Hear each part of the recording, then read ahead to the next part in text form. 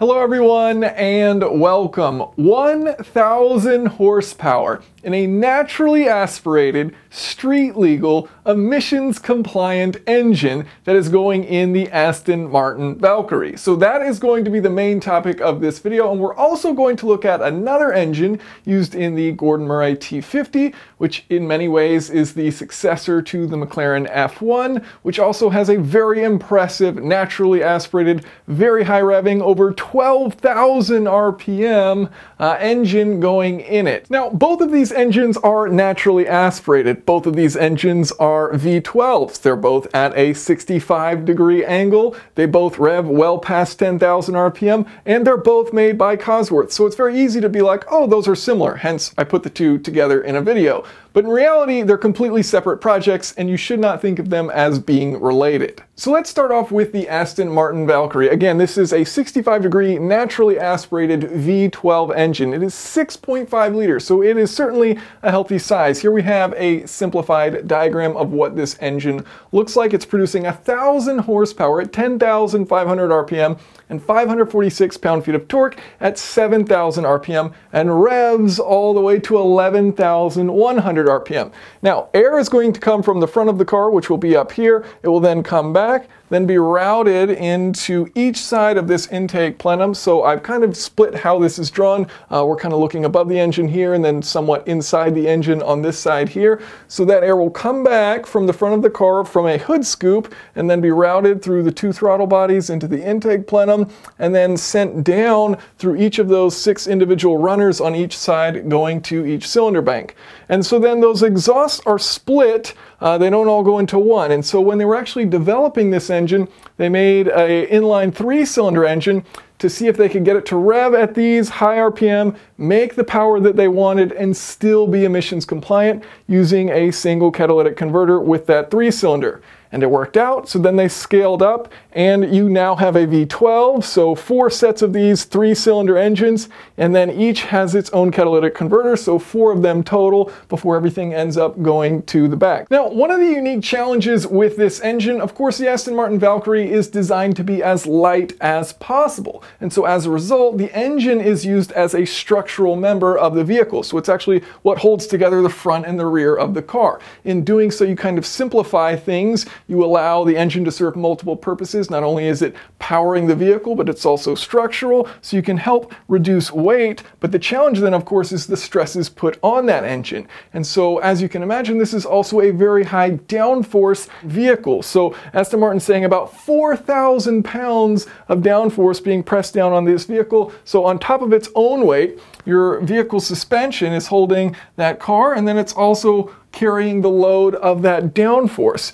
And so you have that pressure uh, with both of these wheels pushing up, and basically what they're doing is they're forcing the top of this engine to be compressed, and the bottom of that engine is in tension. Basically, it's just trying to take the engine and throw it out the bottom.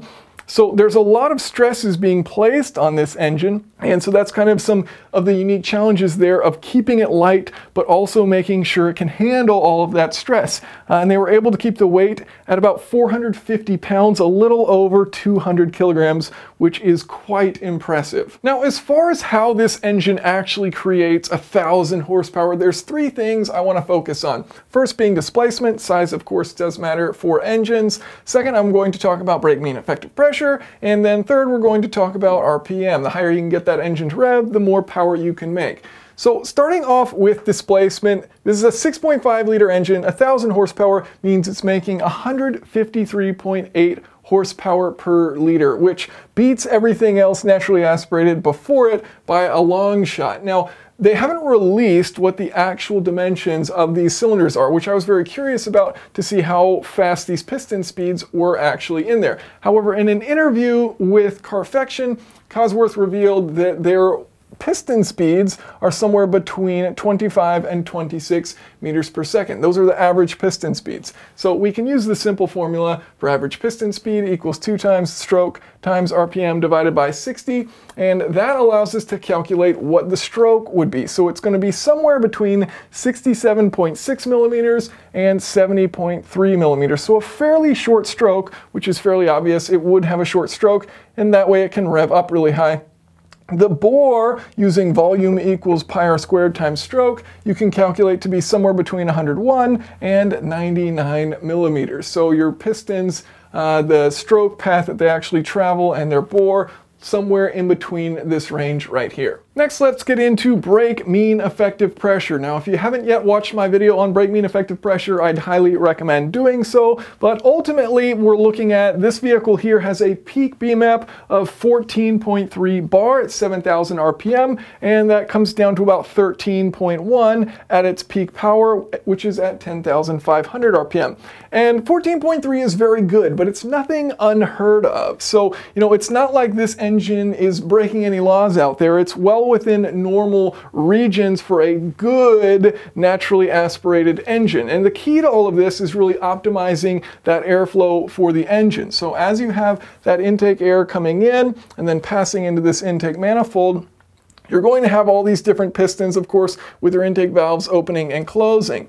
And what you want to make sure happens is as you have that air rushing to go in an engine cylinder and then you close that intake valve, that of course creates a high pressure area as all that air is being thrown this direction and then a valve says, nope, you're not getting in. So you create that high pressure region and that high pressure region starts bouncing around in this intake manifold. And you want to time that so that that high pressure region then passes over and works perfectly with a cylinder that is just opening its intake valve. So you have that high pressure occur right when the intake valve opens. You force in a little bit extra air within that cylinder and you're able to make more torque per liter. Moving on to our third element here, RPM. So power is a function of RPM. If you hold everything else constant and you're able to rev higher, you will make more power. And so for this vehicle, we are making 546 pound-feet of torque at 7,000 RPM. We can calculate how much power that is, 546 times 7,000 RPM divided by 5252, and that gives us 728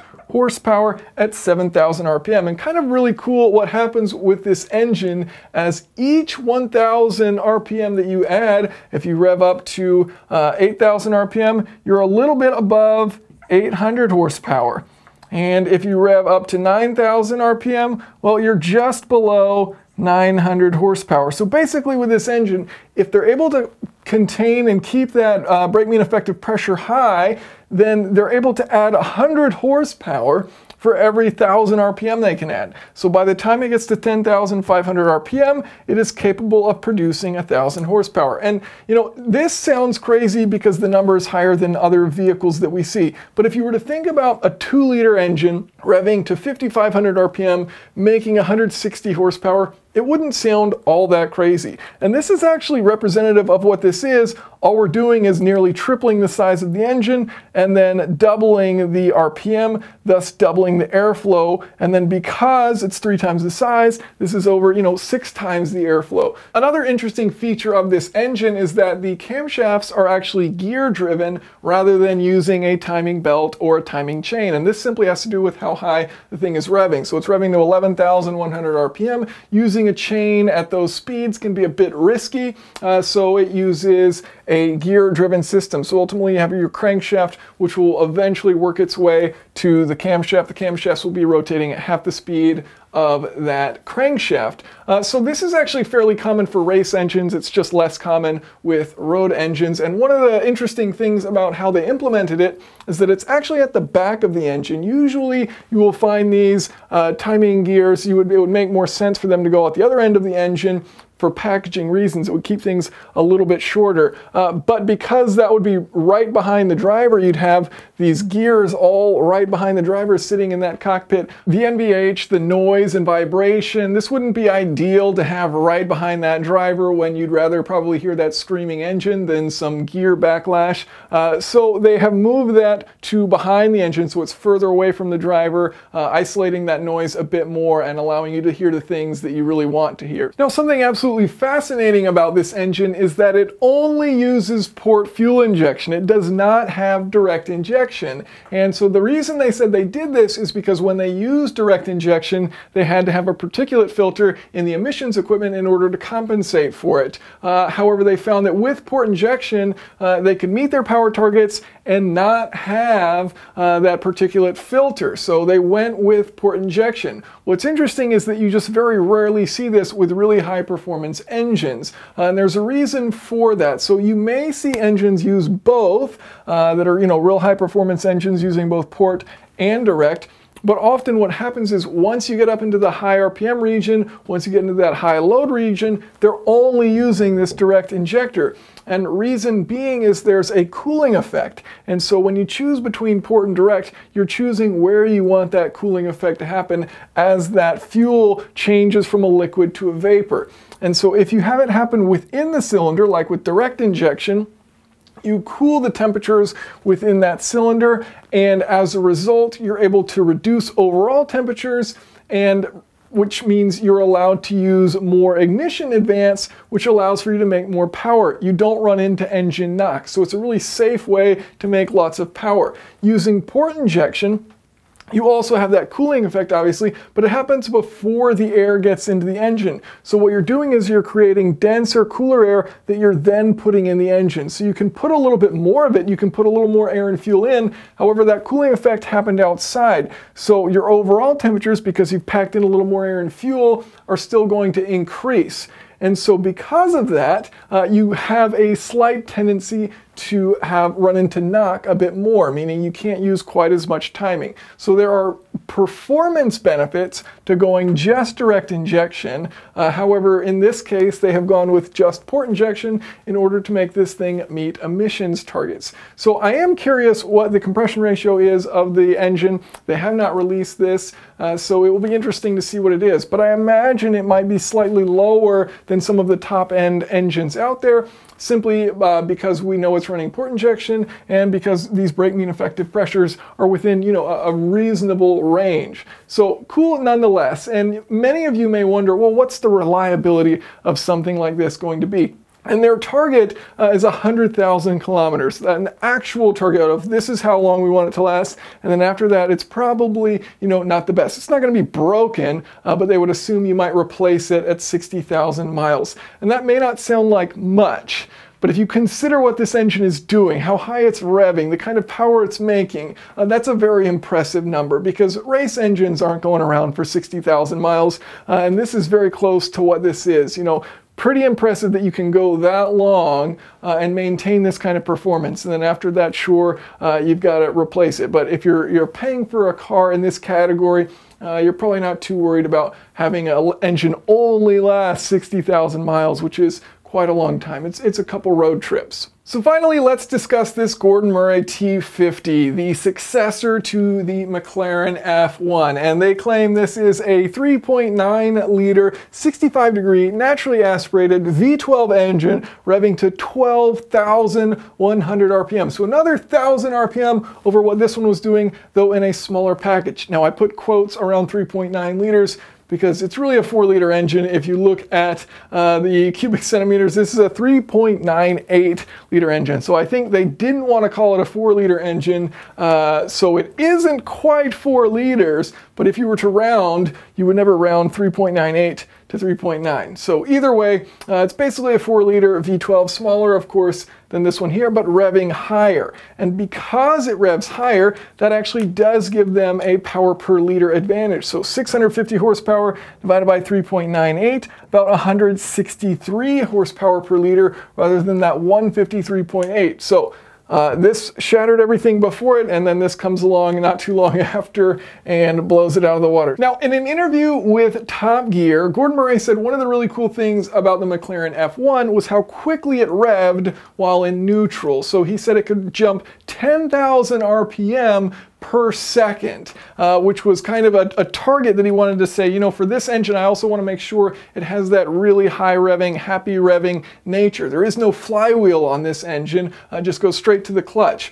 And so the interesting thing here is that instead of 10,000 RPM jumps per second. It is capable of 28,000 RPM per second. Now, of course, it doesn't rev that high, it just revs to 12, uh, but it just means it takes a fraction of a second if it's in neutral to rev up. So it behaves like a really tiny engine as far as how quickly it revs, uh, but you know, it's a, it's a 4 liter V12. It's nothing to be ashamed of. Uh, so both of these very cool engines. Hope you all have enjoyed watching. If you have any questions or comments, of course, feel free to leave them below. Thanks for watching.